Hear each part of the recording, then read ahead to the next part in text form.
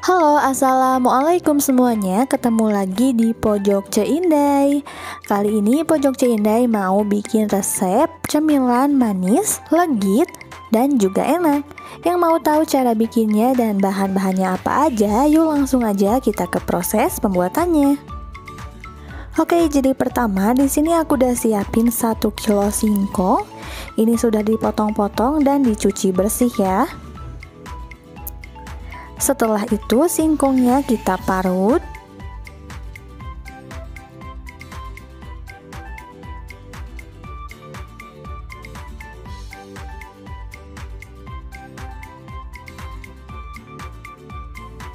Nah, jadi ini adalah semua singkong yang udah diparut. Hasilnya banyak banget ya. Nah, singkong parutnya kita sisihkan terlebih dahulu setelah itu siapkan 100 gram gula pasir Masukkan ke dalam pan Lalu panaskan hingga meleleh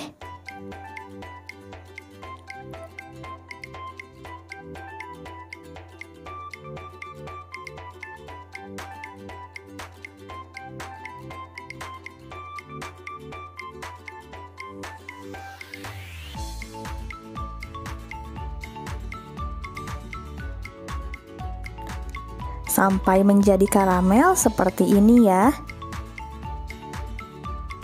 Jika sudah, langsung aja kita siapkan loyang. Lalu masukkan gula karamel yang sudah dibuat tadi ke dalam loyang.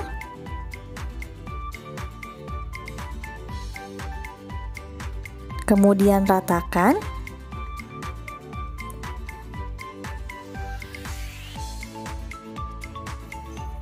Nah, jadi kalau sudah kita tunggu dulu gula karamelnya sampai mengeras. Kembali lagi ke singkong parut yang tadi. Masukkan parutan singkong ke lap bersih.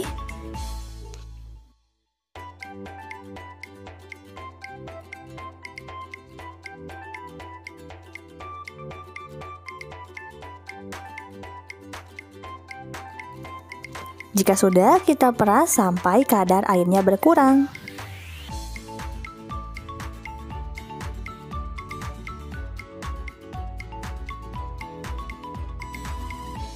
Nah, oke, okay, selanjutnya langsung aja kita masukin ke dalam wadah.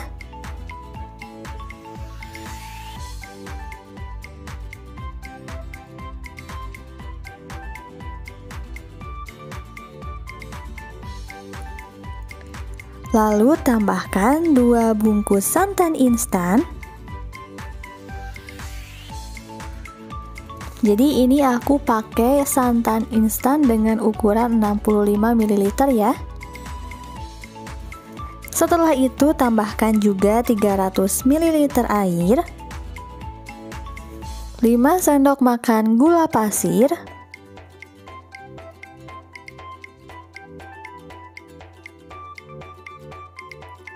Dan seperempat sendok makan garam. Setelah itu tinggal kita aduk sampai tercampur rata.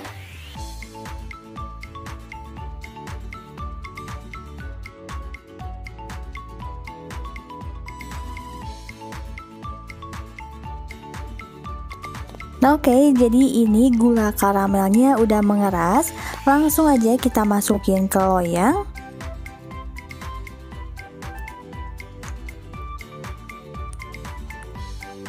Setelah itu kita ratakan.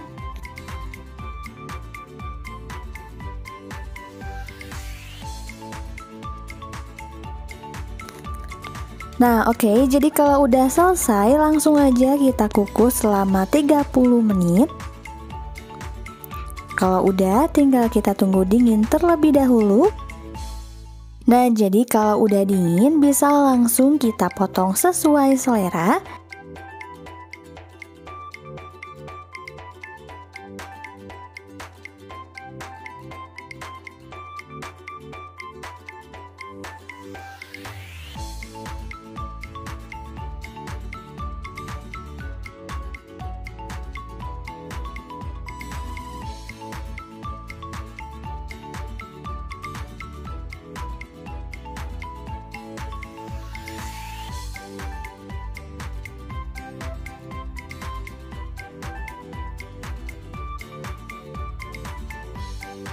Oke, dan ini adalah olahan singkong yang udah jadi.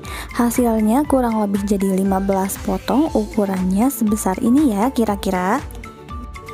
Bisa kita jual ataupun bisa juga dijadiin cemilan di rumah ya.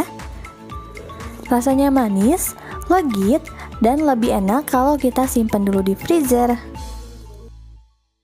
Oke, kalau gitu cukup sekian video aku kali ini. Semoga bermanfaat dan menginspirasi. Jangan lupa tonton video yang lainnya dari Pojok C Dadah, bye-bye.